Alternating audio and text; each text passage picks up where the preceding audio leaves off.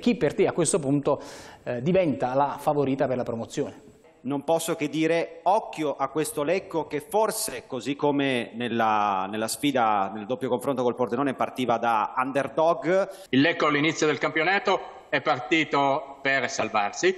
Quando ho visto che la squadra era in difficoltà ha preso questo allenatore che è un po' un allenatore schierato con la società, che non, non entra mai in polemica, non fa mai eh, quindi schierato abbastanza, chiede i giocatori che vuole, poi appunto ha rimodellato la squadra con quello che aveva, col materiale e i giocatori che aveva e arrivare a questo punto, sabato scorso si diceva ormai si esce col Pordenone, ma non al termine, all'inizio della sfida. Il Cesena ha un vantaggio sia per la semifinale che per la finale, che è quello di giocare la gara di ritorno in casa, seppur però con l'Oroge Stadium eh, Dino Manuzzi che negli ultimi anni è stato una persecuzione per il Cesena nelle gare decisive, le eliminazioni ai playoff sono arrivate tutte nello stadio di casa. Confermo l'endorsement eh, al Cesena, sia come Rosa che, come giustamente hai detto, per un allenatore che ha un'esperienza di promozioni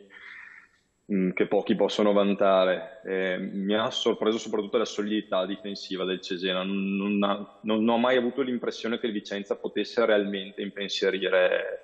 la squadra romagnola se non con qualche azione estemporanea come quelle che hanno portato al doppio palo nelle, nelle due sfide. Penso il Cesena perché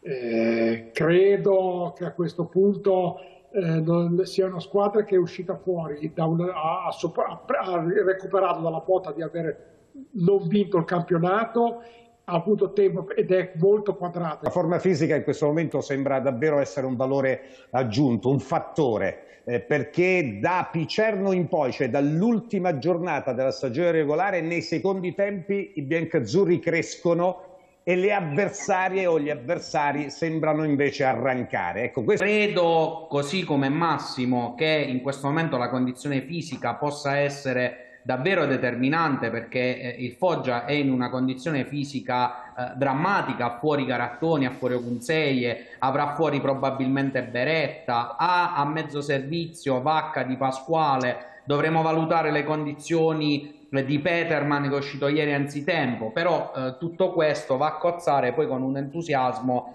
che in questo momento è palpabile